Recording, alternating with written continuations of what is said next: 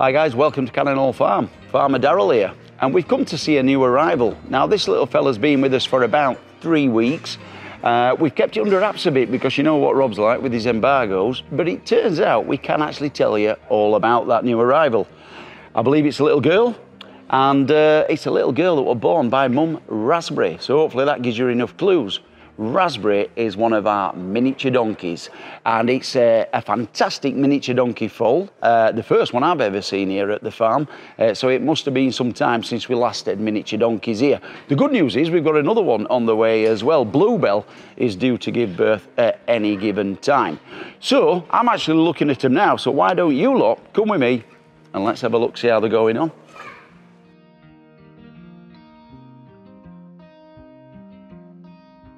So here we are in the rare breeds barn at uh, Farm. You can now see what I've been talking about. We've got Mum Raspberry, who's really, really friendly and really taken to us. At first, when the little one were first born, she was a little bit unsure, a bit protective, only being a good mum. We, have been watching them like hawks really for some time because we got a, a, a, sort of expectant date uh, for both uh, mares and we sort of we started to get over that date so we, you know you get a bit anxious and you get a little bit nervous and we're all you know there's a team of us here every day every day.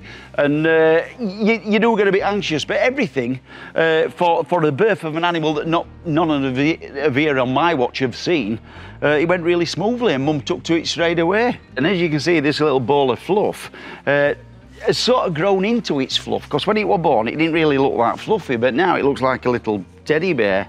And it's really affectionate it's really really cuddly and it really likes attention. And mum's quite happy as giving it a bit of attention. And mum as you can see she just stood over watching. But her ears are forward that's a good sign. She likes a little stroke as well. I'm unsure uh, what we do in regards to name. I've heard lots of rumors uh, so i'm not sure if i'm at liberty to say anything but uh, uh, mum's definitely raspberry. Uh, I don't know if we should keep along the berry lines um, or whether it'll end up with a rockstar name. I suppose that depends on Farmer Dave. Well, Bluebell, who's, who's over in the background there, is, is, is, in my opinion, has got the girth of a space hopper. So I don't think she's going to be that long at all. Uh, there weren't much difference in the in the due date, so I reckon it's a case of uh, watch this space over the next few days, maybe a week, and I, I, I, think we might have another one with us. He definitely wants a playmate. Um, unfortunately, as much as I'd like to be, I can't be here in Rare Breeds Barn all day, uh, but it is nice to come down here, away from my pigs, and have, uh, have 10 minutes with something as cute as this. So thanks for joining us in the rare breeds. We, uh, we definitely, in my opinion, the cutest animal we've got on the farm. Uh, hope to bring you updates very, very soon of another new arrival along these lines. Uh, so it's Farmer Darrell in the rare breeds at Cannon Hall Farm. See you all again soon.